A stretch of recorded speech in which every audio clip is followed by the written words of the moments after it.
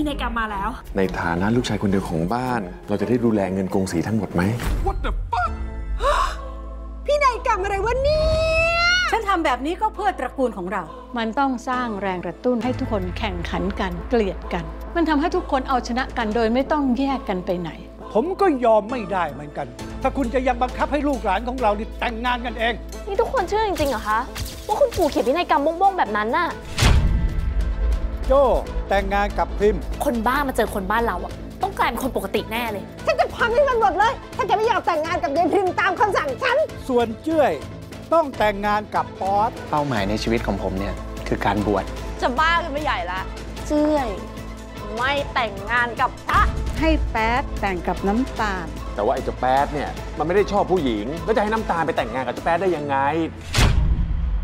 ฉันจะยกกงสีและบ้านหลังนี้ให้ แต่แกต้องทำทุกอย่างให้สำเร็จภายใน 3 เดือน เราสองคนควรจะร่วมมือกัน หลอกง่ายจริงๆไอ้น้องควาย โง่มากอีแก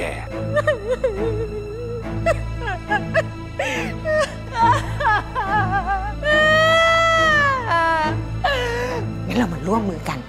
ล้มอีพี่พงศ์กับพี่ใหญ่ ฉันจะช่วยพี่เอง นี่อารันค่ะ เป็นสามีของพริมเอง ฉันจะทำให้ทุกคนเห็นด้วย ว่าหลานนอกคอกอย่างฉันน่ะ จะพังความคิดบ้งๆของผู้ใหญ่ที่นี่ แกมาช่วยฉันคิดดีกว่า ว่าจะหาทางศึกพ่อแกออกมาจากวัดยังไง ฉันสั่งค็อกเทลที่โตะละ กินแก้วเดียวเนาะทุกคนอยากให้พริมเข้าโรงแรมไม่ใช่เหรอคะ อยู่กับกระโจ้เหรอ อยู่กับสามีของพริมค่ะ นี่จะเอาชนะฉันใช่ไหม ใช่ค่ะ ฉันก็จะต่อยแกจนกว่าปากแกจะปิดพูดไม่ได้ นี่มึงไต่อ่างแฟนกูเหรอ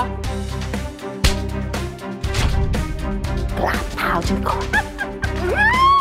ธอรีบไปทำให้สองคนนั้นเลิกกันให้เร็วที่สุดไปไหนอีกอะคะไปเบรกพวกมันสิ ถ้าเกิดได้พริมพ์ท้องขึ้นมาพวกเราก็จบเพอะ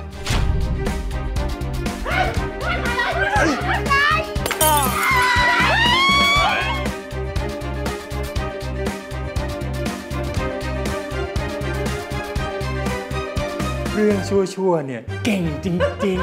ๆ โอ้ยโอ้ยตุเมชยมังคลังโสดบ้านเลยเนี่ย คาถาชนะมารไง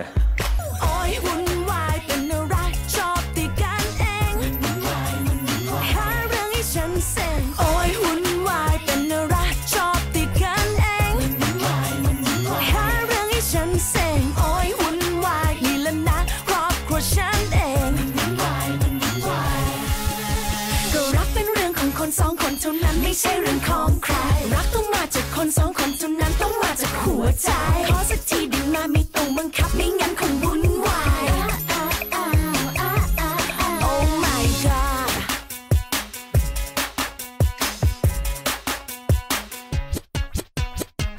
พอได้เจอเธอฉันก็เริ่มอบอุ่นหัวใจ